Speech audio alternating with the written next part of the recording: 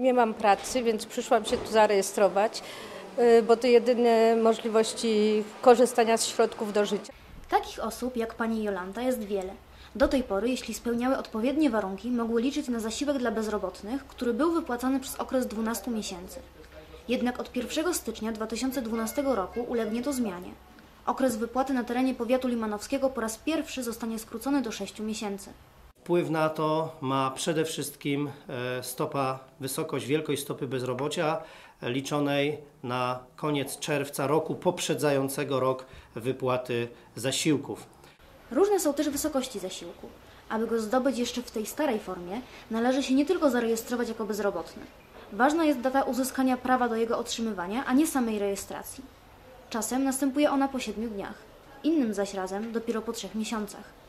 Niektórzy chcieliby po prostu znaleźć pracę. Interesuje mnie przede wszystkim y, wiadomość y, sklep jako sprzedawca. Pracowałam jako kelner bufetowa, teraz y, no nie wiem jaka będzie możliwość znalezienia pracy, to każdą bym podjęła, bo co prawda pracy się nie boję, także jest to dla mnie wyznanie i, i chciałabym nadal pracować. No. W bieżącym roku Powiatowy Urząd Pracy otrzymał zaledwie 30% środków na aktywne programy rynku pracy.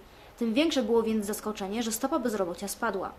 Paradoksalnie obawialiśmy się tego, że e, to spowoduje lawinowy wzrost liczby osób bezrobotnych, a, tym, a, a co się okazało? E, Drastyczne ograniczenie środków Funduszu Pracy na aktywne programy tak naprawdę e, spowodowało, że tych osób rejestruje się e, mniej. To jednak wcale nie oznacza, że bezrobocie w powiecie naprawdę się zmniejszyło.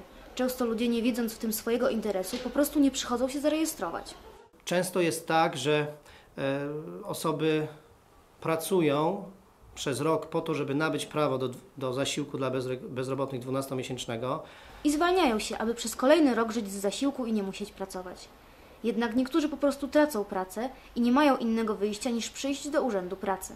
Rok temu jak się za, podjęłam pracę, no i po roku czasu mi za współpracę podziękowano, mimo to, że ta praca miała być na czas nieokreślony. Nie wiadomo jeszcze, jak będą wyglądały środki Urzędu Pracy na rok przyszły.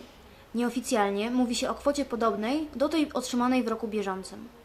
Dobra informacja jest taka, że w tym momencie urząd ma jeszcze fundusze na dofinansowanie otwarcia działalności w wysokości 14 tysięcy dla kilkunastu osób. Magdalena Trojanowska, TV20.